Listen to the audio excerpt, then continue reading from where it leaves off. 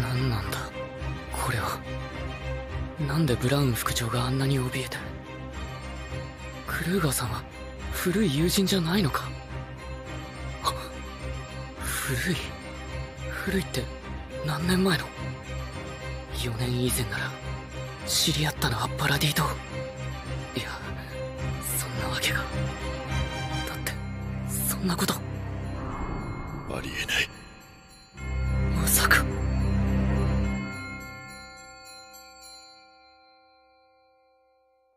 さてここまで語った話は誰もが知る事実。ですが真実とは少々異なります。ここからは我々タイバー家が戦鎚の巨人と共に受け継いできた記憶。その本当の真実を今回初めて公表させていただきます。今からおよそ100年前巨人大戦を終わらせたのはヘイロスでもタイバー家でもありませんでした。あの戦争を終結させ世界を救ったのはフリッツ王なのです。彼はエルディア帝国の残虐な歴史を嘆き同族同士の争いに疲れ果て何より虐げられ続けたマーレに心を痛めておられたのです。彼は始祖の巨人を継承すると同時にタイバー家と画策し一人のマーレ人を英雄と称し活躍させました。名はヘイロス。そしてできる限りのエルディア国民を島に移し壁の門を閉ざしました。その際安息を脅かせば幾千の巨人で報復すると言い残しました。しかしこれは真意ではありません。フリッツ王は自らの思想を引き継がせるため不戦のちぎりを生み出しました。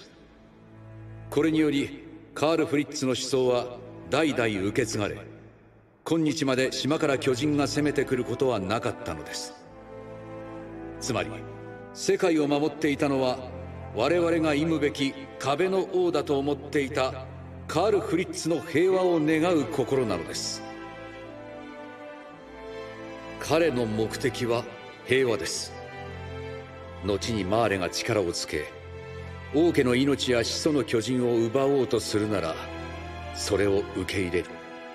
それほどまでにエルディア人の犯した罪は重く決して償うことはできない。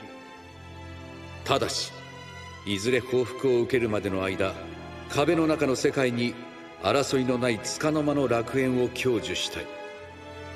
どうかそれだけは許してほしい。王は最後にそう言い残しました。どういうことだ？これが事実なのマーレやタイバー家が世界を救ったってのは全てフリッツ王のお膳立てだったってことか。本当に壁の王が世界を侵略することがないならパラディ島脅威論とは何だったのか？そう。